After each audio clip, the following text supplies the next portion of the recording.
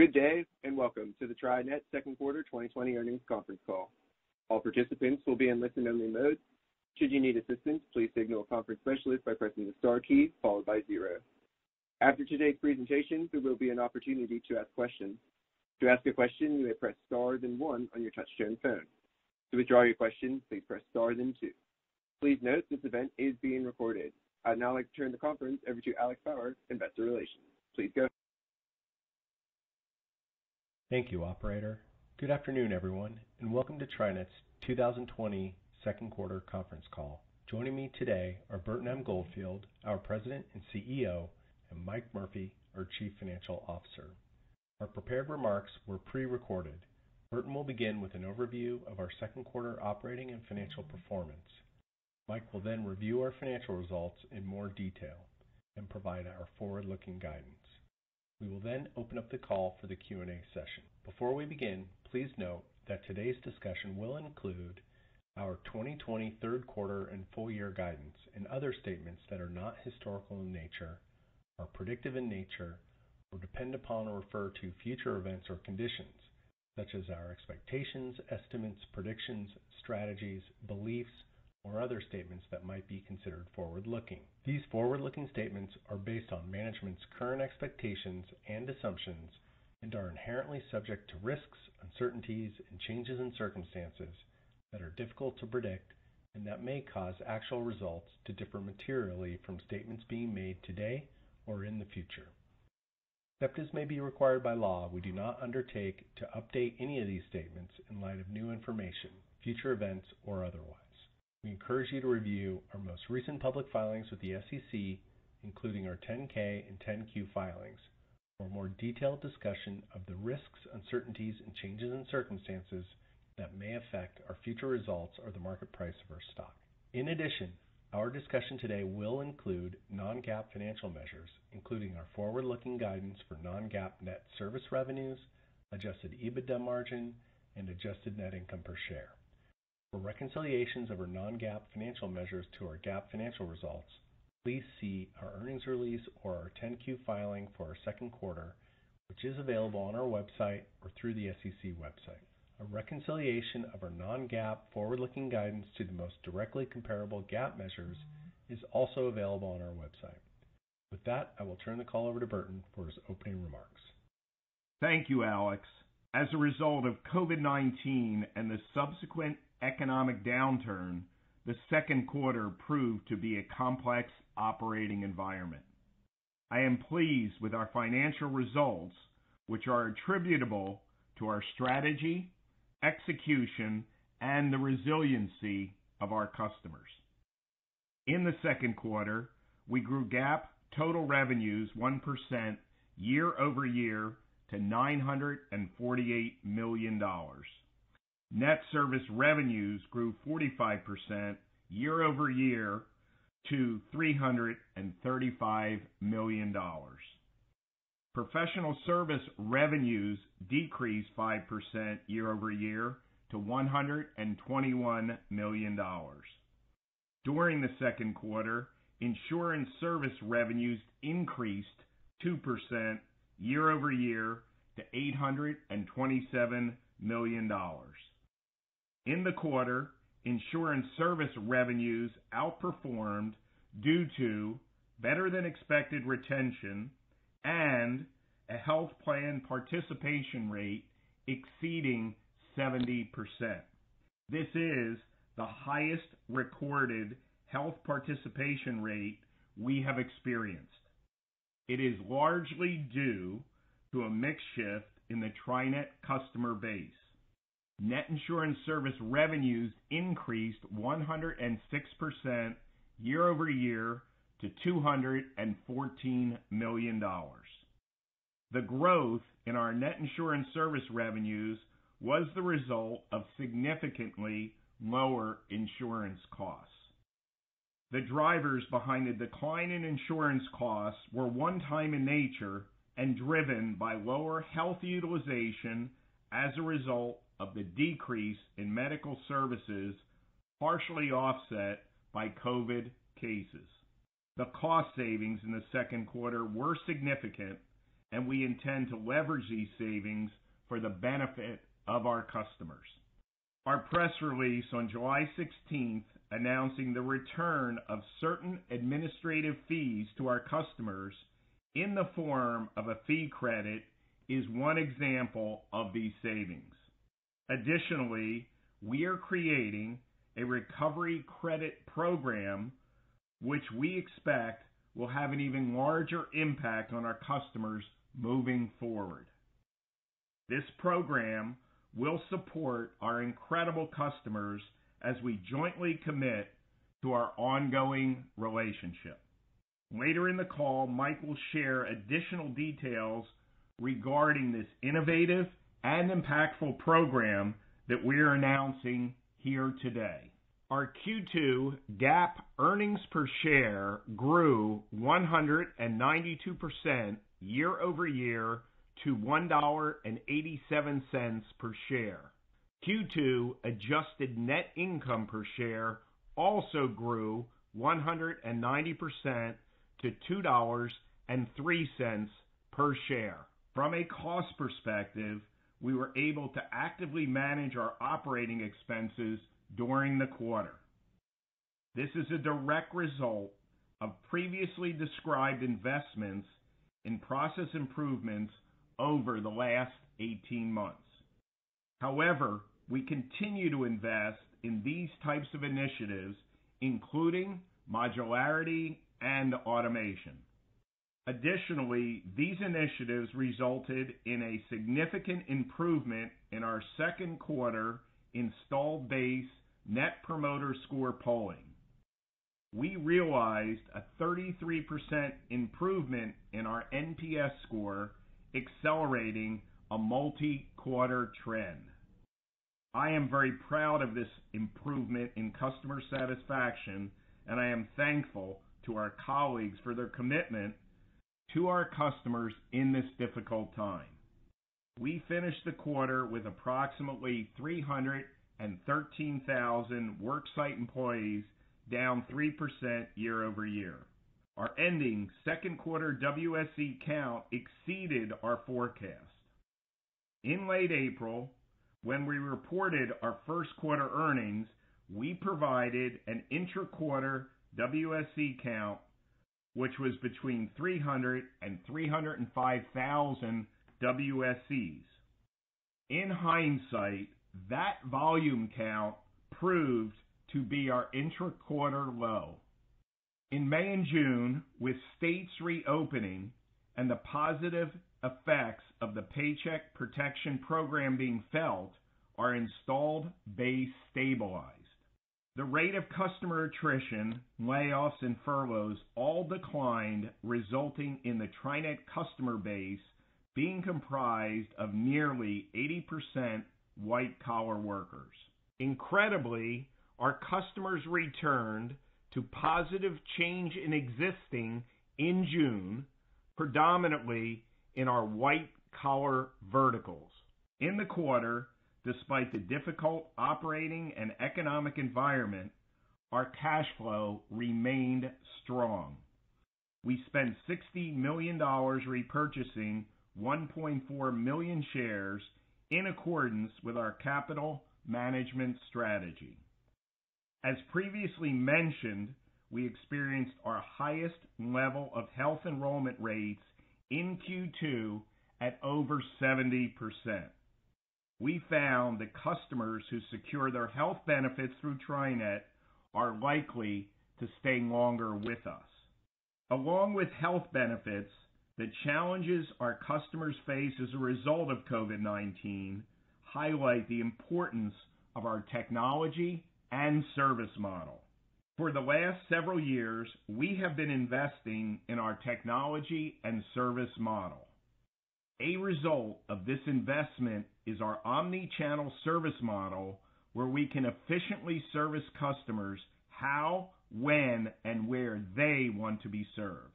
Whether it's a high-touch interaction with experts, a call center transaction, or a chat box, we are there to respond to and address our customers' needs 24 hours a day. Additionally, our mobile app is highly rated and well utilized. We regularly produce content which addresses various employment, benefits, and government program-related issues. Much of our content is posted on our COVID TriNet Business Resiliency and Preparedness Center found on our website. So far, we have posted 11 webinars with over 20,000 attendees. Several webinars targeted the PPP loan process.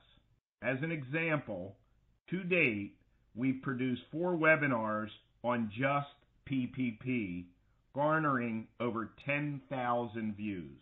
Presently, our PPP-related efforts have pivoted to helping our customers generate the reports necessary to achieve PPP loan forgiveness. Given the critical support provided by this program, we are hopeful the government will continue to support SMBs through the remainder of this pandemic. TriNet's customers are the small and medium-sized businesses that are supporting our country through this crisis. Customers like Re3D. Re3D is a manufacturing startup which provides affordable 3D printers for the global market. The Re3D printer GigaBot is easily transportable, can use recycled plastic, and allows its users to build products where they are needed. Re3D is currently hiring full-time engineering, sales, and manufacturing employees. Over the past several months, in response to COVID-19, Re3D leveraged their internal R&D to design and prototype PPE and other life-saving devices. The company mobilized its global customer base to produce necessary healthcare equipment on-site, filling regional supply gaps while eliminating shipping delays. Working with customers like Re3D is an example of the important role TriNet plays in helping these amazing customers have a positive impact on our world. We understand, however, that many of our customers are still facing significant challenges as they navigate this uncertain and difficult environment. For example, our Main Street vertical has been hit the hardest with layoffs, furloughs, and customer attrition. As we look forward, uncertainty around the economic environment continues. We remain cognizant that the economic recovery may be more drawn out than originally predicted. With respect to new sales, we see continued interest in TriNet's products and services. The sales paradigm has shifted significantly with meetings being held remotely.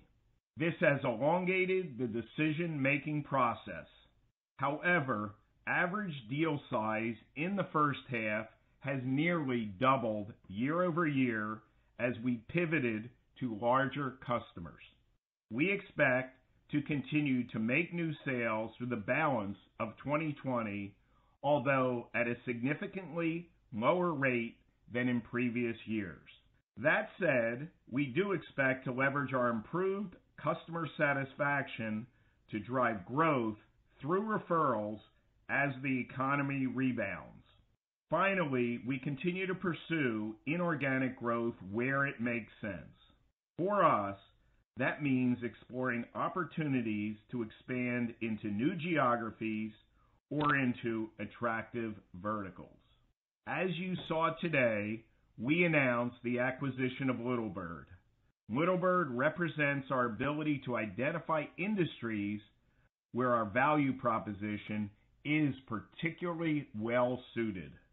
Through this acquisition, we are expanding our footprint in an attractive area of our nonprofit vertical while adding significant industry expertise. While the financial and volume impacts from this acquisition are limited, we are excited about this deal as it represents an expansion into one of our core verticals with a large, attractive market opportunity. The entire TriNet team welcomes Little Bird to our company. With that, I will turn the call over to Mike for the financial review. Mike? Thanks, Burton. As I review the financials, I'm going to focus on the GAAP and non-GAAP numbers where appropriate. But First, on our last earnings call, I previewed that our Q2 results and 2020 guidance would be significantly impacted by timing as a result of COVID-19. and This is what has happened and what we expect to happen. And this timing includes the timing of our insurance performance. For the second quarter, we guided to a net insurance margin range of 19%-23%. And we delivered 26% as cost savings exceeded our forecast. We expect to see a reversal of this in the second half. COVID-19 also impacted our volume of WSEs as we exited the second quarter with higher WSEs than our forecast. And insurance costs due to reduced utilization of health services, partially offset by direct costs of COVID care. And finally, our revenue as we began to accrue for our Client Recovery Credit program. And while I won't separate out the COVID-19 impact on our WSE volume, I will reference how it impacted our revenue results. As Burton referenced, we finished the second quarter with approximately 313 worksite employees, a 3% decline year-over-year. Average WSE count for the second quarter was approximately 314,000, a year-over-year decrease of 2%. During the second quarter, GAAP total revenues increased 1% year-over-year to $948 million. And net service revenues grew 45% year-over-year to $335 million. GAAP total revenues were offset by 6% or $56 million as a result of our initial accrual for our Recovery Credit program. Professional service revenues for the second quarter decreased 5% year-over-year to $121 million.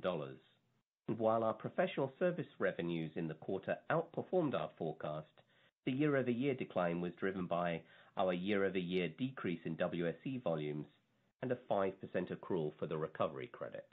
Insurance service revenues for the second quarter increased 2% year-over-year to $827 million. The growth in insurance service revenues was also offset by the 6% Recovery Credit accrual.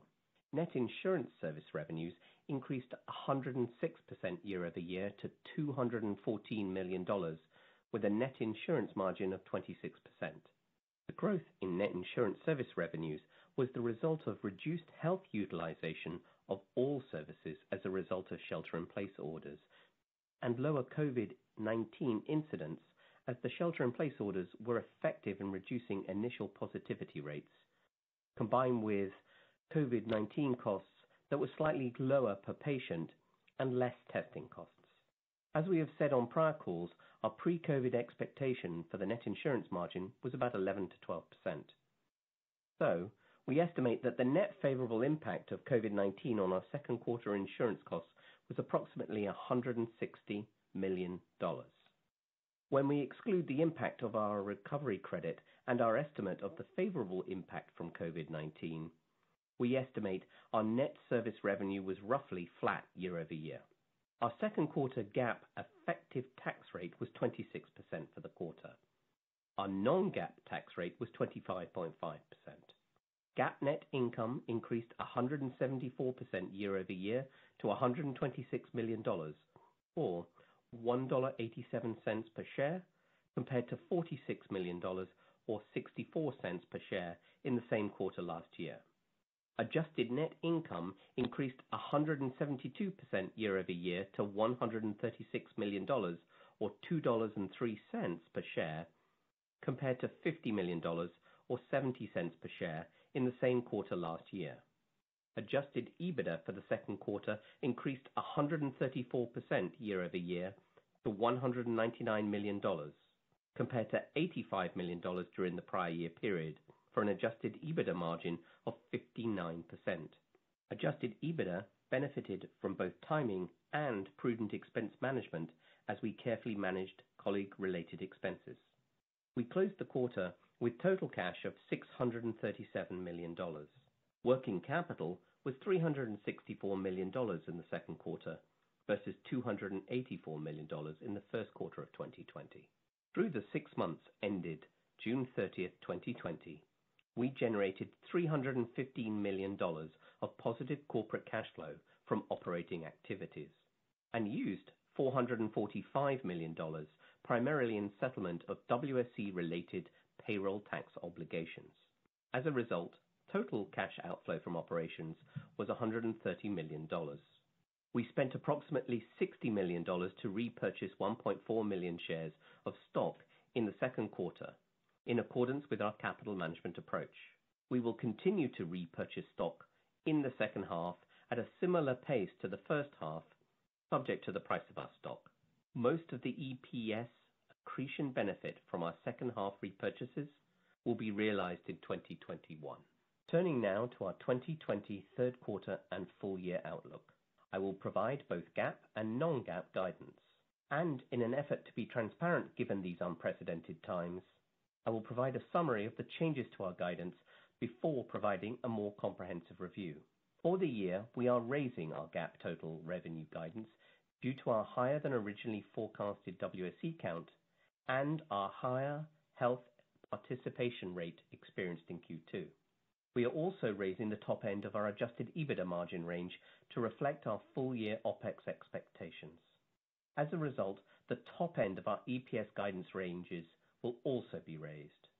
Please recognize that as we referenced previously, there are significant timing differences between the first half and the second half results for 2020.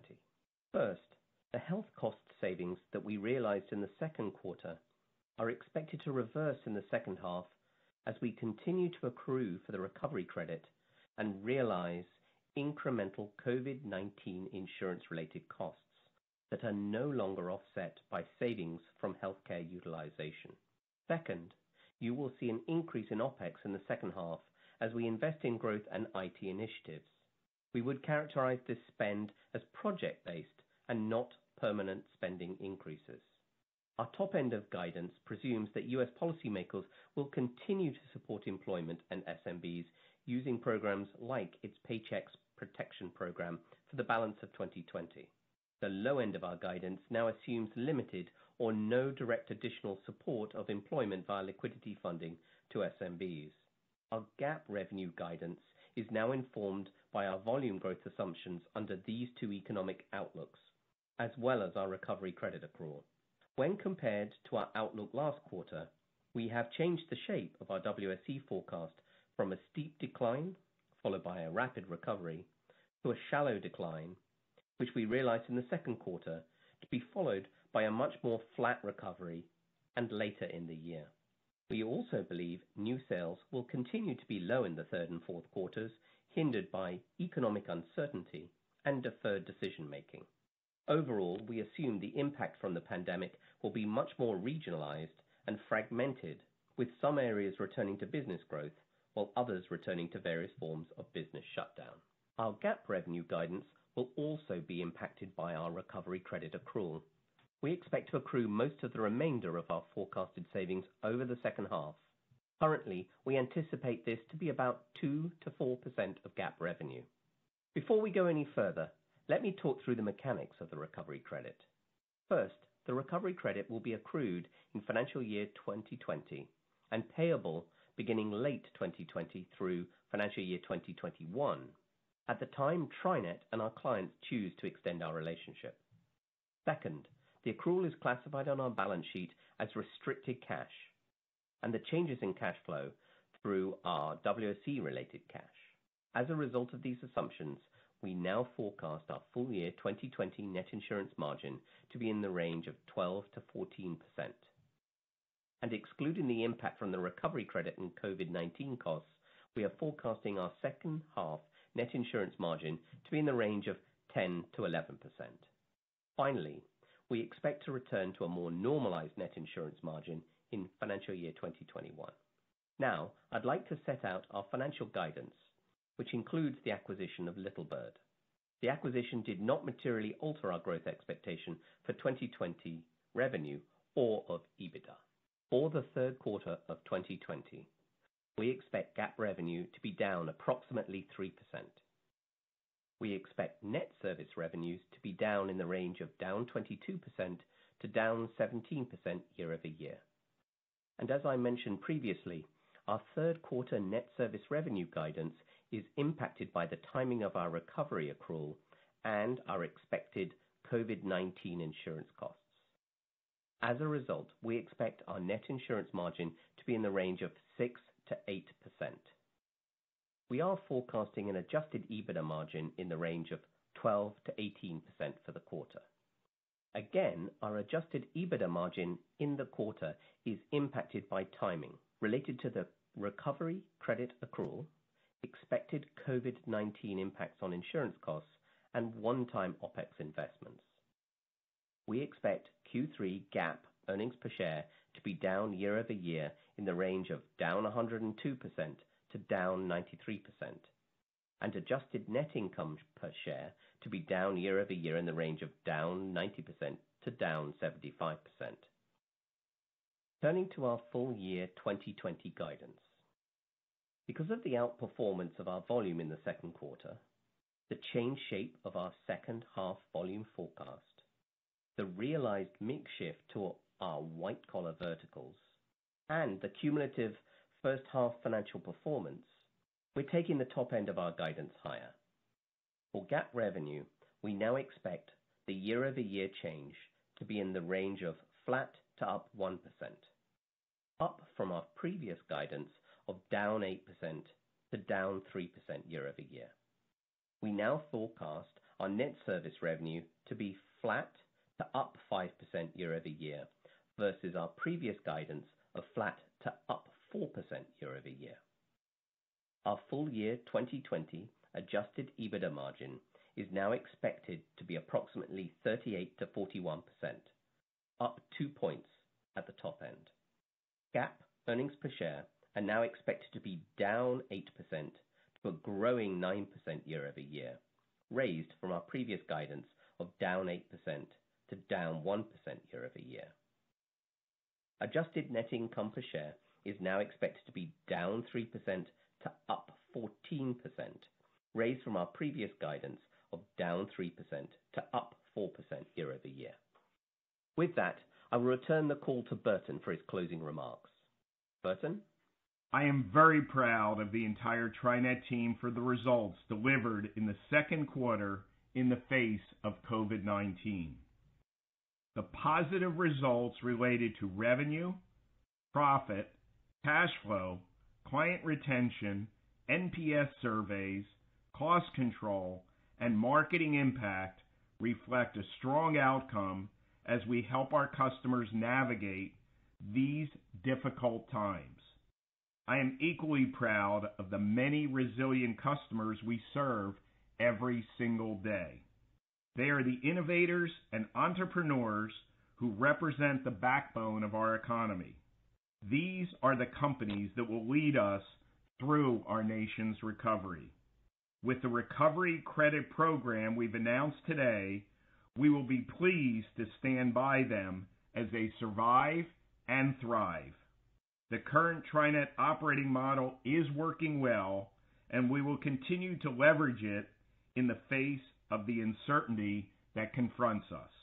We are passionate about helping our customers navigate and implement new constructs like PPP loan forgiveness as they become available. Regardless if this is the new normal or a short-lived blip in our country's history, TriNet is well-positioned to provide the resources necessary to help our customers pursue their business goals and secure future success. Operator? We will now begin the question and answer session. To ask a question, you may press star then one on your touch-tone phone. If you're using a speakerphone, please pick up your handset before pressing the key. To withdraw your question, please press star then two. And At this time, there will be a brief pause until the first question.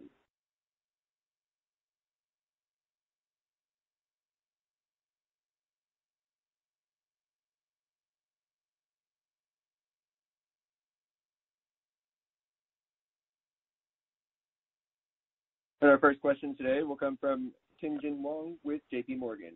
Please go ahead. Great. Thank you. Thanks so much for all the the detail as well. I know there's a a lot of moving pieces. Maybe I'll ask on Hey, Burton. Maybe I'll ask on retention, because I understand that sales is a little bit more difficult. Um, but retention sort of stood out to me here with with the higher NPS scores. You talked about higher, higher, higher utilization helping, automation helping. So where is it now? Has your thinking on how high it can go changed given what you've learned through this initial COVID period? Sure. Hi, Tien-Tsin, this is Mike. The way I think about it is there's really two pieces that affect our WSE volume. The first is attrition, which is client attrition. And what we've seen is that our pattern of attrition this year compared to this time last year is about the same for the half year. And I think the other aspect is our clients laying off their employees, and that's really the driver of the force and the performance in the second quarter. Got you. Got you. And then if I if I heard you correctly, for the quarter, you you talked about net service revenue was roughly flat if we excluded the recovery credit as well as the the COVID impact here. Is that your messaging on how we should consider the baseline assumption here for for the second quarter, what a clean baseline would be? Is that the um, um, intent? Yes. we're yes, That's right. Understood. And then lastly, maybe for you, Burton, just on the the acquisition here, I think you mentioned it was relatively small in terms of impact. Anything else you can share in terms of size or number of WSEs, the risk model? What else do they bring that you lacked? Yeah. So look, Tien-Tsin, this is uh, really exciting for me. Our vertical-oriented business model is working very well in this economy, and it's allowed us to focus on exactly what these verticals need and what these industries are asking for.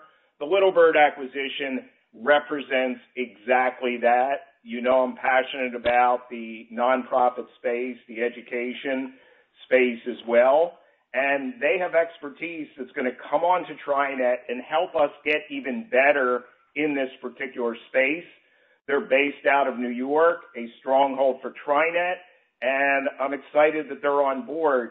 The size is very very small, but the impact I can have over time with them helping us in this particular vertical is exciting. And as to the financials, overall, Tien-Tsin, it's immaterial to our financials. But to give you some color, it's about 1% of our volume, and we believe it will be accretive over time. Yeah, I don't I don't doubt that you can amplify the growth rate. Thank you for all the details. Hey, thank you, Tien-Tsin. We appreciate you. And once again, if you would like to ask a question, please press star then one. And our next question will come from Andrew Nicholas with William Blair. Please go ahead. Hi, good afternoon. Thank you for taking my questions. Um, the first one I wanted to ask about, I think, Burton, in your prepared remarks, you made a comment about the average deal size um, has nearly doubled year-over-year. Um, I was just hoping you could parse that out a little bit further. What's driving that change, and what does that mean for for your addressable market more broadly, sales cycles, growth outlook, that sort of thing? So the the solution that we're delivering is landing very well with our customer base, and we believe by going upmarket, which was a conscious decision on the part of TriNet, allows us to expand that value proposition for those particular customers. So what you will see over time is that we will expand on the size of the customers that come to TriNet, and they will avail themselves of the medical, the technology, and the risk transfer that our unique model offers. So we're focused on the customers that really understand the direct value proposition, and we find that as the customers grow, that value proposition grows with the customers. Got it. Got it. Makes sense. And then, um, just on the balance sheet, um, you have nearly $650 million in cash uh, at quarter end, and obviously what, what seems to be a little bit more stable of a backdrop or at least less uncertain than it was last quarter when you drew down on your credit facility. I was just hoping you could speak to near and medium-term capital allocation priorities, where repurchases fit alongside M&A outlook. Thank you. Sure. So this is uh thank you. Uh so as I said in my prepared remarks, our plan is unchanged as it regards to capital allocation, and our plan is to buy in the second half of the year roughly the same amount as we purchased in the first half of the year, subject to the stock price. I think with regards to M&A, our view is that nothing has changed. We're always in the market for the right kind of transaction. And as we look at multiples and the fit, we'll examine those opportunities. Great. Thank you. Thank you. And our next question will come from Kevin McVeigh with Credit Suisse. Please go ahead. Great. Thanks. Hey, um, Burton, you talked about uh, a 70% um, participation rate on the healthcare side. Can you help us frame that a little bit in terms of where it's been historically? Where you think it can go to? And just, I guess, any thoughts around that, if we could start there. So, Burton, uh, let me take that one for you. Oh, okay. Oh, thank you. We have historically uh, had about um, mid-60s kind of performance previously, and so it represents about a 4 or 5% mix shift to the favorable for us right now. And, and what you'll see is a pattern What you'll see is a pattern of white-collar participants being much more enrolled, whereas our blue collar is much generally much lower enrollment. And Kevin, I'll add to that that the 80% white-collar mix in our book is a direct, you know, that 70% is a direct outcome of the mix shift. But what's good about that is that we are finding that customers who take our medical insurance generally stay longer with TriNet. And that's part of the comment I was trying to make about selling the whole value proposition and finding the verticals, the industries, and the right customer size where the entire value proposition um, resonates best.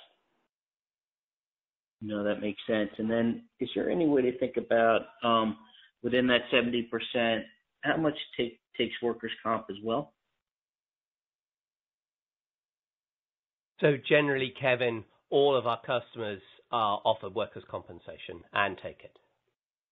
Got it. That's helpful. And then any sense of just, Mike, how we're thinking about WSE over over the, this third and fourth quarter? Just remind us of that, if you could. So sure. We don't actually give out volume for um, the in our guide. Um, our GAAP revenue for the full year is about 0%-5%, and that's a reasonable proxy net of rate and mix for our volume guide. Awesome. Thank you. Thanks, Kevin. And our next question comes from David Grossman with Stifel Financial. Please go ahead. Uh, thank you. Uh, good afternoon. You know, there's just so many you know, moving pieces in this environment for you guys, and I'm wondering if maybe just kind of help us think at a high level about just the impact of retention, um, which sounds like, if I heard you right, is roughly flat year-over-year. Maybe I got that wrong, but it sounded like it was flat. We we have some deferred decision-making on the new bookings, and WSEs is probably anybody's guess, but definitely trending better than we thought. So, you know, as we and I know you don't want to comment beyond this year, but can you give us any kind of high-level way to think about how each of these different you know, factors may impact next year, excluding, of course, the net insurance margin, which I think we all you know, understand will be going down year-over-year next year?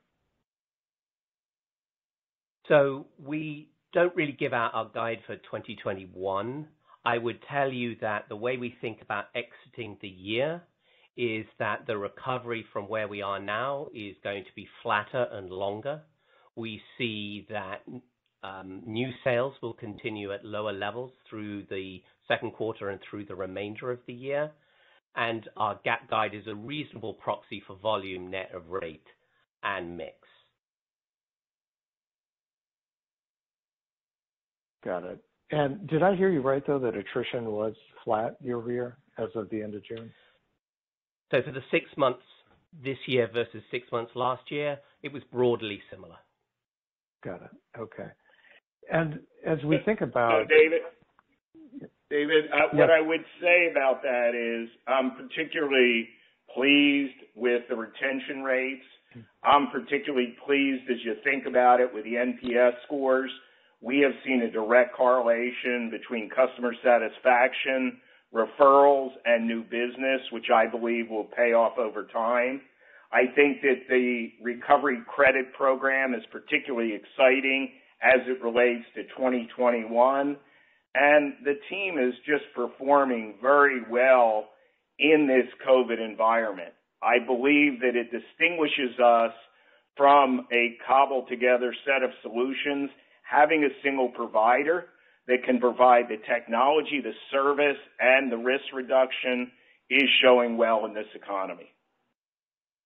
Right. So thanks for that, Burton. So Let's just take that a step further and think about you know, the professional services revenue, which I I think declines less than WSE's probably because of the mix shift you know, to white collar. But as you think about your pipeline, and you gave some good detail about that previously, should we expect that professional services revenue to start you know, kind of distancing itself or seeing more significant increases relative to the WSE count, just based on what's in your sales pipeline?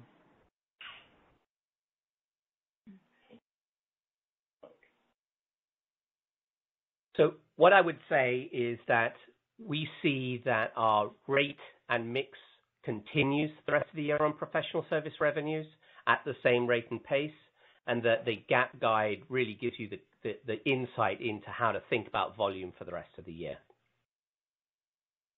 Right. But I think I was talking about mix within the volume, so you know, white versus blue.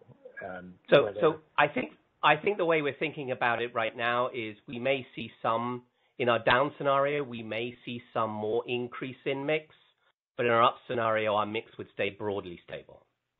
Got it. And then just one last thing, just on the Sure workers' comp side. You know, is there any uh, you know, kind of significant adjustments year-over-year or sequentially to the workers' comp accrual that we should think about or through the balance of the year that you've reflected in guidance? So in our results, we posted favorable development of about $5 million-$6 million, and we haven't seen any particular significant and material impact from COVID right yet. Workers' compensation develops slowly. We don't see anything changing right now. So you don't see any material risk based on what you're seeing right now of people coming back and claiming workers' comp, you know, COVID worker comp or COVID-related workers' comp claims? It's too early to tell. I think that there are various legislative pressures in different locations that could swing it one way or the other, and uh, it remains uncertainty, and that's to a certain extent why we've widened the range of our potential, of our guidance for the year to capture more potential outcomes. Got it. All right, guys. Uh, congratulations. Good luck. Thank you so much. And and I am incredibly humbled by this customer base and their resilience and their focus, David. So hopefully that'll continue. And our next question will come from Sam England with Berenberg. Please go ahead. Hi, guys. Uh, just a couple from me. Just around the new business pipeline, can you give us an idea of what you've seen in terms of postponements or cancellations in Q2? Can we expect there's been any work that maybe got postponed due to everything that was going on in Q2 that will kick in in Q3 and Q4? I have seen deferred decision-making. What I would say is, in its simplest form, what I'm seeing is that prospects, frankly, are most concerned about the front of the shop right now. They're concerned about staying in business.